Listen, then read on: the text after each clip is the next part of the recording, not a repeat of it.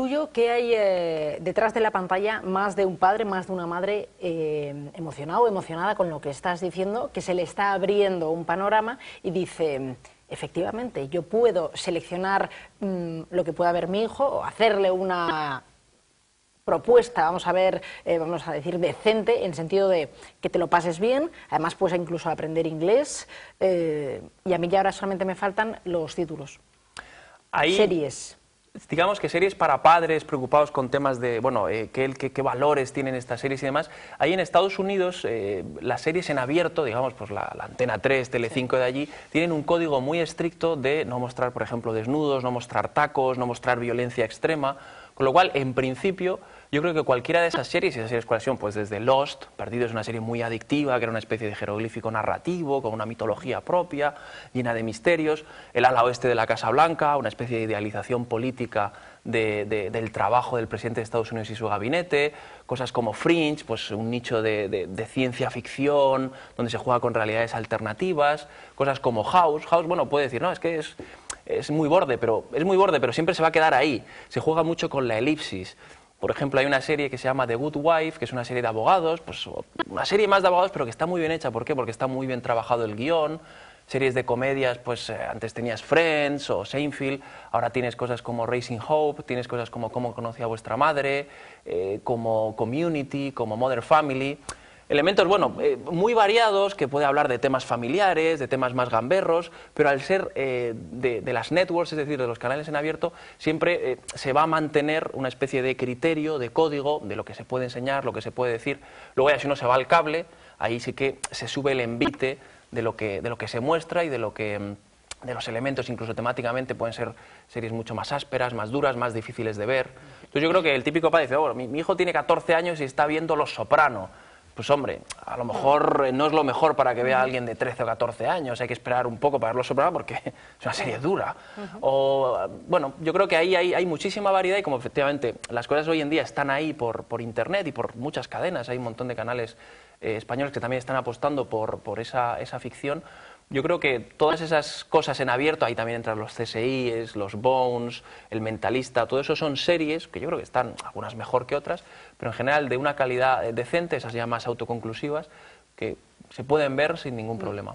Me estaba viniendo a la cabeza una pregunta que mm, igual eh, excede de tus competencias, pero yo me arriesgo a la pregunta. Hay veces que se puede mm, asociar determinadas series de ficción a determinados canales. Por ejemplo, digo, Disney Channel, pues hay ficción, bueno, hay comedias de situación en las que un padre o una madre puede decir, bueno, yo estoy tranquilo porque está viendo Disney Channel. O puede ser aplicable, no lo sé si a otros eh, canales, como puede ser Fox o otros canales que nos podamos encontrar en la TDT. Esto es así, es decir, cuando yo veo una marca, un canal determinado, puedo estar como padre, como madre, bueno, más relajado porque ese canal en principio apuesta por o no? En el caso de España no lo tengo tan claro. Por ejemplo, un canal, digo, no ETT abierto como Telecinco, pues puede ser cosas muy, digamos, mundanas y amarillistas o cosas de cierta calidad. Antena 3, pues lo mismo. En la TDT eh, habría que ver. Fox, por ejemplo, sí que es un canal que es evidente que, va, eh, que apuesta por las series televisivas. Eh, Disney Channel, hasta donde yo sé, no tengo hijos, pero sí sobrinos, me parece que es una cosa bastante, efectivamente, para, para niños. uno se va a encontrar de repente ahí mm. un debate de mayores sobre juicios y no sé qué.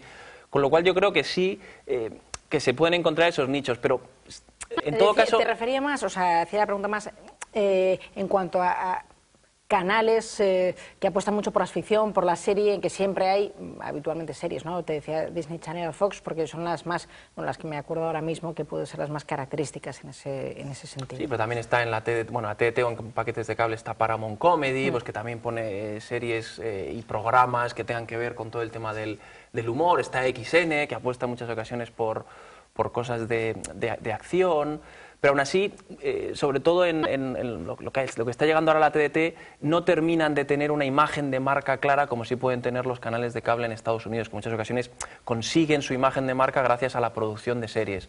Aquí canales de cable como Antena Neox o Factoría de Ficción sí que están intentando apostar precisamente por la ficción como un elemento eh, diferencial, pero bueno, eso también lo ha hecho La Sexta o lo hizo Cuatro aquí todavía no tenemos, no- hasta donde yo sé, no, no terminamos de tener tan claro ese, ese modelo. Otra de las cosas que, no sé, igual a alguna madre le preocupa es que su hijo se enganche a una serie. Me parece que hay más personas mayores enganchadas que adolescentes. Me parece porque incluso antes has comentado mm, el ala oeste de la Casa Blanca y yo me encuentro mm, con más de uno y dos adultos que no es que solamente la hayan visto, que la puedan ver en internet, sino que es que además tienen la colección, además tienen como una colección como casi de medio diseño, que la tienen ahí, que la ven, que la reven, que la... entonces podemos decir que no hay peligro, o sea, que no pasa nada, porque desde luego el, índice de enganche es- está, está, no está nada mal. ¿eh? Yo no sé si hay más de una pelea, por ejemplo, mm, familiar de matrimonio, diciendo que dejes de ver ya el capítulo tal, porque no sé si llegará a ese extremo, pero por ahí anda. Pues no sé si llegará a ese extremo, pero, pero en todo caso, el- por supuesto que las, las series, incluso por su propia eh, definición, tienen que ser adictivas, porque claro, es una serie, lo que, lo que quieren es que al día siguiente vuelvas, como pasaba por la, con la literatura por entregas o el folletín del, del 19, eh, acababan en ese continuará que hace que tú al día siguiente quieras volver y seguir viendo. Entonces, claro, hoy en día, como precisamente aquí podemos ver el DVD entero o la podemos ver a nuestro ritmo, pues el continuará lo tengo aquí, no tengo que esperar a la semana siguiente, sino bueno, me pongo un capítulo de Prison Break y otro y otro y otro. Pero ahí como todo, el problema yo creo que no está tanto en el producto como en la persona. Una persona puede ser adicta al chocolate, puede ser adicta a las series, puede ser adicta a mil cosas y el problema está en su propia educación. No creo que el producto en sí sea malo eh, o sea eh, pernicioso, sino eh, hay que educar también la mirada del espectador para saber, oye, son las 6 de la mañana, mañana tengo que trabajar y me importa tres narices lo que diga Jack Shepard en Lost o si sigue llorando o no. Por eso digo que a veces pasa lo mismo con la tecnología, ¿no? Facebook es malo. Bueno, Facebook es Facebook. Si estás hasta las 6 de la mañana, pues hombre, a lo mejor no es lo mejor para ti. Lo mismo con las series. Yo creo que una buena serie, y ahora las hay muchas, y la televisión puede ser una caja muy lista, eh, yo creo que puede ser tan enriquecedora como una buena novela. Yo incluso sé de alguno que mm, algún protagonista de una serie le ha robado la personalidad. ¿eh? Un tal Jack Bauer le ha robado la personalidad a alguno que yo sepa. Para terminar, eh, Alberto, ¿algún consejo que nos eh, quieras dar a mm, los que estamos aquí? A mí lo quieres dar, pero bueno, sobre todo a los que están eh, en casa respecto a las series, algo que digas, bueno, pues hay gente que tiene 27 canales y miráis que ya no sé qué ver porque no me gusta, bueno, tienen que ver contraste, eso desde luego, pero antes has dicho un montón de series, pero dinos dos despacito para que lo podemos apuntar. Ya han ido a casa, ya han cogido papel y bole para que puedan. Pues mira, yo por ejemplo eh, reivindico mucho una serie que es eh, una mezcla de terror, de aventuras y de, de humor que se llama Supernatural, en España la traducción es sobrenatural, pero bueno, la traducción no cambia mucho, que es una serie que pone la, la cadena CV estadounidense, es una serie sobre todo centrada en público adolescente, juvenil, y son dos hermanos luchando contra el, el apocalipsis, digamos.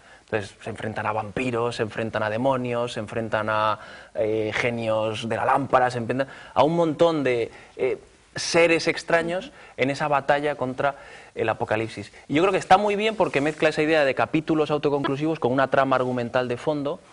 Y como digo, está llena de, de- acción, de, de thriller, tiene momentos realmente eh, que te acongojan, pero es una serie yo creo que muy, muy recomendable y muy fácil de ver y que pese a lo que pueda parecer a primera vista es una tontería, no, tiene, tiene mucha cosa de fondo. Y luego alguna otra, una digamos más atrevida, eh, mucho más difícil de ver, es una que se llama In Treatment, esta es de cable, de HBO, que es una serie donde un psiquiatra eh, se enfrenta cada día de- de la semana a un paciente distinto. Pues los lunes es una eh, treintañera eh, con crisis emocional, los martes un exmilitar que no siente culpa, los miércoles una niña de 12, 13 años que intenta suicidarse, los jueves un matrimonio en crisis y los viernes es él el que empieza a ir a otra psiquiatra, a una antigua maestra suya. Entonces, es una serie que son solo media hora, básicamente como tú y como yo, es diálogo durante media hora, eh, pero es una cosa muy inteligente que juega mucho con los silencios, eh, muy sugerente, es casi un western de sentimientos donde un, un personaje se enfrenta al otro intentando excavar en el, en el yo, en la verdad. Y es una serie difícil, no para, para todos los públicos, no porque salgan cosas raras, sino porque es exigente. Pero yo creo que una vez que uno entra en eso, eh, sale mejor persona. Nuestro público es de esos, es un público inteligente. Alberto, gracias por haber estado con nosotros esta noche. Un placer.